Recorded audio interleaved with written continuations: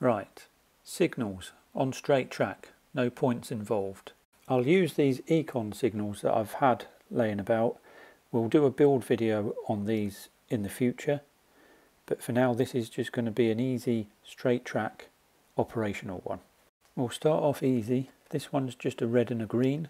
So out of the bottom of the signal we'll have the two negative wires. They go to a resistor.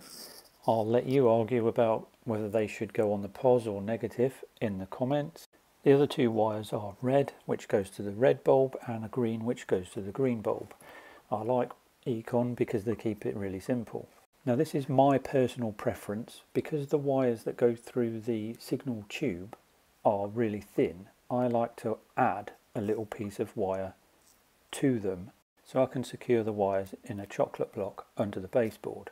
It just makes life easier when you when you have to replace one or swap a bulb. And did you notice I've got a new soldering iron tip? I'll try not to burn myself this time. So you've just seen I've added a piece of shrink wrap over the soldered joint and then at the other end I've removed the shielding and tinned the end. Now I'd run out of uh, terminal blocks and the other day I was about to order some online when I was walking around B&Q and was surprised to see that they did them. So that was a bonus. Now because there's three wires that come out of the bottom of the signal, we're going to just use three of these terminal blocks. This is pretty basic stuff at the moment, but when we get a bit further down the line, I'll do some diagrams which I'll put on the screen so you can screenshot them and print them off, or if I can remember how to do it, PDF them on in the description somewhere. That's it sorted on the workbench. Now in true Blue Peter style, here's one I prepared earlier. To keep this simple for the time being, we'll just run a negative lead from this signal to our power supply. Then we need to put our positive lead to a switch. Now switches come in many different forms.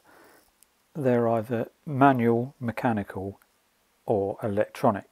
That's my basic electronics self-taught version of how I perceive switches anyway.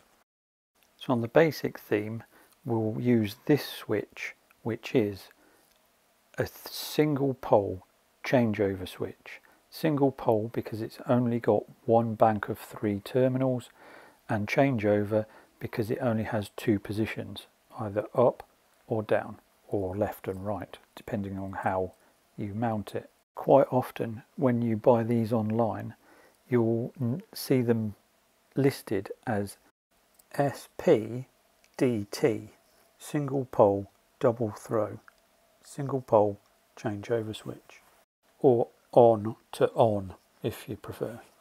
Right, back to underneath the board and we'll attach a negative wire to the signal and run it to our 12 volt DC power supply. Then we'll attach a positive lead from our power supply to the center of our switch. And then two other leads one for the red aspect one for the green aspect.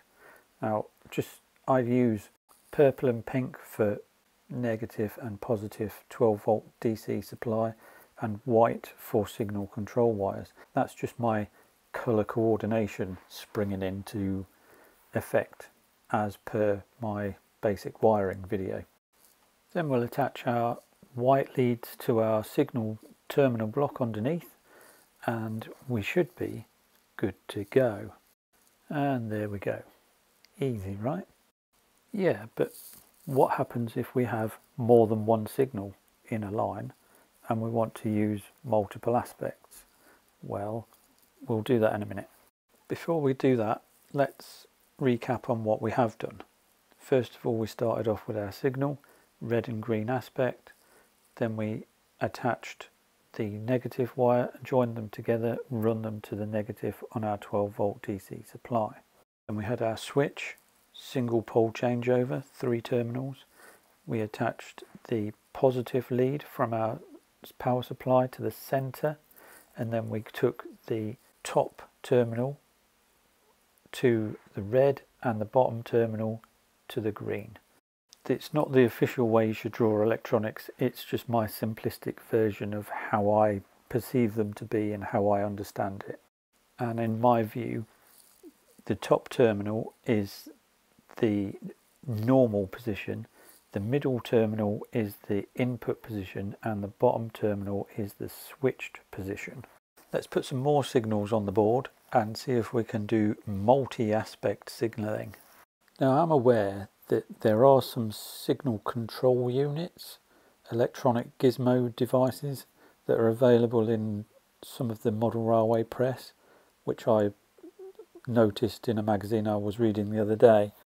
I'm sure that there is a market for that sort of thing, and I'm sure they are good at what they do. The way I do it seems to me to be a much simpler, easier way to do it, and probably cheaper.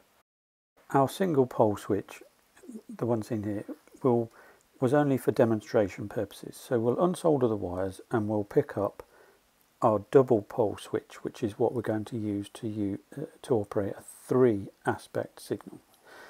Now double pole means that it's got two sets of three connections, the same applying. So the, the center one will be the feed, the outside two are our output terminals and we'll see what happens to those in a second.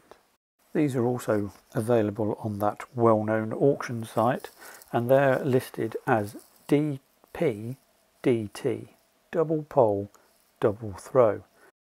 In a vain attempt to stay tidy in my messy world, uh, made a rudimentary basic control panel which will will attach our switches to that then we'll attach our positive lead to the center of one side. And because we've got four signals on our little test track and four switches, we'll do the same for each of the others. So that's just as attach a positive lead to one side of each of the switches. Then to the top terminal on the side that we've attached our POS lead to, we'll attach our wire and then run that to the red aspect of the signal that we're controlling from this switch. Now here's where it can all go wrong if you're not paying attention. Right, so our bottom terminal, we'll now solder our wire onto the bottom and we'll affix it to the center of the next switch opposite our power in supply. My soldered wires look appalling in this video close up. Might have to do something about that in a future episode. And I had a brainwave to number the signals as well and the switches so it's easier to follow. So we've soldered our wire, our switch lead from the bottom of number one signal to the middle of number two. So where we've just soldered that lead to, we're now going to solder two more leads and run them to the green, uh, to the yellow on the top and the green on the bottom to signal number one. Uh, we'll run those wires to the associated terminal underneath our signal and then it should be, hey presto, it works. Then it's okay, if you've got more than two signals, it's a case of rinse and repeat until you get to the end.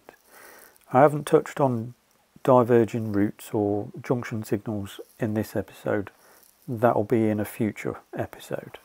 Right, let's get the rest of this wiring sorted out. Stop it. Not in this one.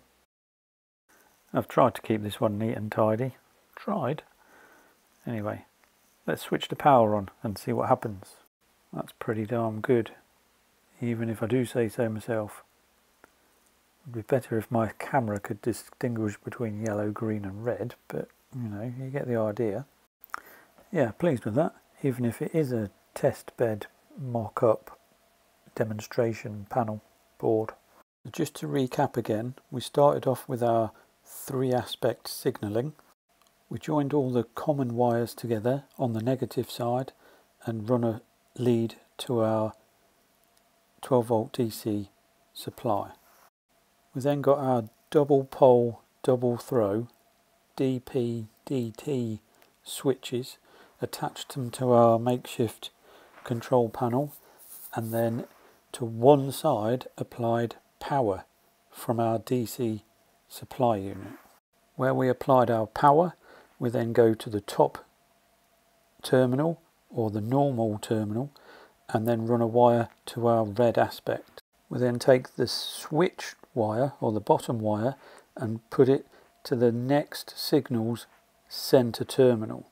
From where we've just attached that wire, we then take the normal position and put it to uh, run a wire to the yellow and then the switch position we run a wire to our green uh, aspect. Then it's just a case of repeating the process until you've wired up all your signals, trying not to create spaghetti while you're doing it. Now that you've got the basics, next time we'll look at junctions and how to wire up route indicators. In the meantime, thanks for watching. See you next time.